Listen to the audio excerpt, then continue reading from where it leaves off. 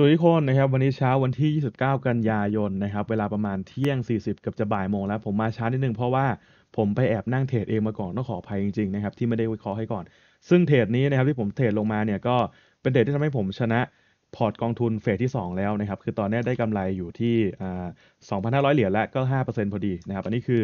Royal Challenge Phase 2เนาะของ The Funded Trader ก็คือ move นี้นั่นแหละนะครับในส่วนของทองคำเนาะซึ่งก็คือเจ้าเทรดนี้นั่นแหละ นะครับทีนี้วันนี้เรามาดูกันดีกว่าว่า แนวคิดตรงนี้เป็นยังไงบ้างแล้วจริงๆเมื่อกี้ผมอัดคลิปไปแล้วนะ แต่ว่าเสียงเนี่ยมันไม่ติดนะฮะก็เลยต้องมาอัดใหม่โอเค เพราะนั้นจะเห็นว่าผมมีการตีโซนไปแล้วนะครับเรามาเริ่มกันที่ทองคำแล้วกันเนาะในส่วนของทองคำผมเซลล์มูฟนี้ลงมาจริงนะครับแต่ว่าถ้าใครที่พลาดตรงนี้เนี่ยเราต้องรอให้ราคาเนี่ยมีการกลับตัวขึ้นก่อนนะครับเพราะตรงเนี้ยเราสังเกตได้ง่ายเลยว่าราคาเนี่ยมันลงมาเยอะแล้วนะครับ เดี๋ยวมันต้องกลับตัวขึ้นเพื่อวิ่งลงต่อ แน่นอน หรือถ้าสมมุติว่ามันจะลงต่อจริง ถามตัวเองเลยนะครับว่าเราควรเข้าเซลล์ไหมเพราะตรงเนี้ยโซนนี้ถือว่าเป็นโซนที่อันตรายนะครับจะเห็นว่าแท่งนี้เนาะมันเคยวิ่งมาแล้วมันกลับตัวลงนะครับเพราะฉะนั้คำถามคือโซนเนี้ยมันจะเคารพโซนนี้ไหมก็เป็นไปได้เหมือนกันก็ต้องระวังนะครับถ้าเรามาดูส่วนของเดลี่เนาะเดลี่ถามก่อนเลยว่าทำไมมันถึงลงได้ขนาดนี้นะครับอะ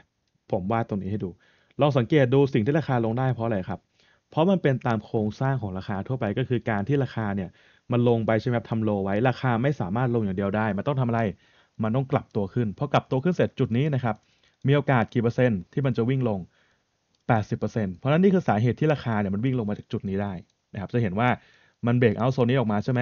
แล้วมันลงมาทำ low ไว้จุดนี้นะครับกลับตัวขึ้นก็มีโอกาสที่อะไรครับ มันจะลงมา retest lowเพราะฉะนั้นตรงนี้นะครับ ถ้าเราไปดู time frame 4ชั่วโมงจะเห็นภาพชัดขึ้นอ่าจุดนี้ถามว่าหือ เซลล์ยังไงเนี่ยโค้ดเทรดนี้นะครับ คือเราลองสังเกตดูไม่ต้องดูตรงอื่นเลยนะผมปิดให้หมดเลย เอาดูแค่ปัจจุบันนะครับ เรามาโฟกัสที่ 3 แท่งนี้ก่อนแท่งที่ 1 แท่งที่ 2 และแท่งที่ 3 นะครับ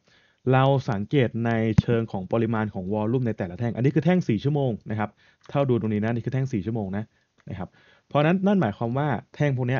วิ่งทั้งหมด 4 ชั่วโมง เราสังเกตแท่งแรกก่อน ในส่วนของแรงซื้อแรงซื้อเยอะไหมครับ เยอะเพราะอะไรเพราะแท่งมันใหญ่ นะครับแท่งนี้เหมือนกันแรงซื้อเยอะไหมเยอะเพราะแท่งมันใหญ่ แล้วแท่งนี้แหละครับแท่งนี้คือจุดเปลี่ยนเกมเลยนะฮะจะสังเกตได้เห็นว่าแท่งนี้มันคือเป็นแท่งเล็กนั่นหมายความว่าแรงซื้อมันน้อยนะครับ ก็มีโอกาสที่อะไรครับ ราคาจะกลับตัวลงได้ ผมอธิบายให้ฟังสั้น ๆ ง่าย ๆ นะครับ คือราคา forex จะมีแค่2อย่าง ไม่ขึ้นก็ลงนะครับ ทีนี้ผมอยากให้มองในแง่ของว่ามันชักเขยื้อกันอยู่ เรามีฝั่งซื้อ เรามีฝั่งขายนะครับ สมมุติตอนเนี้ยไอ้ move นี้นะครับ ฝั่งซื้อเดิมทีเนี่ยมี 500 คน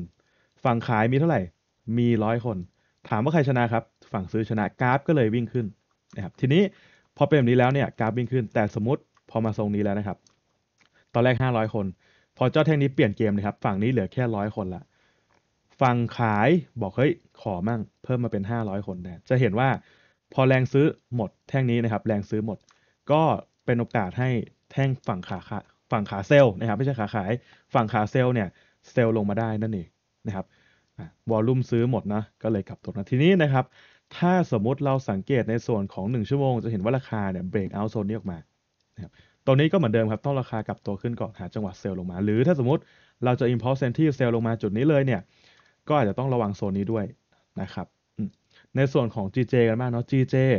เทรดนี้โดยส่วนตัวเมื่อกี้ผมพูดไปแล้วนะครับ ว่าผมเห็นว่ามันจะขึ้น เดี๋ยวมาฟังอีกทีหนึ่งว่าเพราะอะไรเนาะอันดับแรกเคลียร์โซนก่อนเลย คิดวิเคราะห์ใหม่เลยนะครับ ราคาลงมาเนี่ย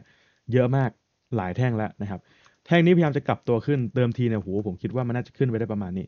แต่พอมันขึ้นไปได้แค่นี้นะครับ ตัวนี้ก็ยังมีโอกาสให้เจ้าแท่งเนี้ยมันวิ่งต่อได้ คือลักษณะประมาณนี้ตามประสบการณ์สัญชาตญาณที่ผมเคยเห็นมานะครับ แท่งเนี้ยมันวิ่งลงมาเพื่อทำไส้ด้านล่างเฉยๆเพราะอะไรครับ สังเกตแท่งนี้ มีไส้ด้านล่างไหม มีนะครับ แท่งนี้ล่ะมีไส้ด้านล่างไหม มี เพราะฉะนั้นถ้าแท่งนี้จะขึ้นต่อนะครับ มันก็ต้องมีไส้ด้านล่าง เพราะฉะนั้นภาพที่ผมต้องการจะเห็น น่าจะเป็นทรงประมาณนี้ครับ คือทิ้งไส้ไว้แล้วขึ้นต่อประมาณนี้เลย เพราะฉะนั้นตรงนี้เราไปดู 4 ชั่วโมงจะเห็นภาพชัดขึ้นอ่าในส่วนของ 4 ชั่วโมงนะครับ ถ้าเราไม่ต้องดูเลยนะดูแค่นี้ครับ ผมปิดให้หมด ถ้าสังเกตเห็นแค่นี้จะเห็นว่าอะไรครับ ราคาทำ high ไว้ กลับตัวลงมาใช่ไหมครับ มันมีโอกาสที่มันจะขึ้นไป retest high 80%ถูกต้องไหมครับทำ high กลับตัวลงทำแนวรับย่อย มีโอกาสที่จะขึ้นไป retest high แล้วทำ high ใหม่ ซึ่งก็จะเป็นทรงประมาณนี้นะครับ เพราะฉะนั้นจุดนี้เนี่ยผมมองได้ 2 ทางคือ 1 3 ชั่วโมง 4 ชั่วโมงแท่งนี้เนี่ยนะครับมันเปิดมาแล้ว 3 ชั่วโมง มันมี 4 ชั่วโมงใช่ไหมแต่มันวิ่งไปแล้ว 1 ชั่วโมงก็เหลือ 3 ชั่วโมง เพราะนั้น 1 ชั่วโมงแรกเนี่ยมันลงมาทำไส้หรือเปล่า ถ้ามันลงมาทำไส้นั่นหมายความว่า 3 ชั่วโมง 2-3 ชั่วโมงที่เหลือ มีโอกาสที่มันจะทะลุไส้ตัวเอง แล้วขึ้นไป retest high จุดนี้ได้ ตามโครงสร้างราคา เพราะนั้นนะครับภาพที่ผมต้องการจะเห็นคือจะเป็นทรงนี้ปิดก่อน ราคาลงมาทำไส้ด้านล่างแค่นี้ครับ แล้วกลับขึ้นต่อนี้ มีโอกาสเป็นไปได้สูงมากนะครับผมบอกได้เลยมีโอกาสเป็นไปได้สูงมาก ตามประสบการณ์ที่เคยเห็นมาทีนี้เรามาดูในส่วนของ 4 ชั่วโมงอีกทีหนึ่งมาทะลุโซนนี้น่าจะบายขึ้นได้แน่นอนนะครับพร้อมดูในส่วนของ1ชั่วโมงเนาะอ่าราคามีแนวรับอยู่ในกรอบ เหมาะสมกันพอดีเลยนะครับ สมส่วนกันพอดีคือตรงนี้ ถ้าดู 30นาทีจะเห็นว่าราคาเนี่ยมันอยู่ในกรอบโซนนี้นั่นหมายความว่า ถ้าราคามีการทำแนวรับย่อย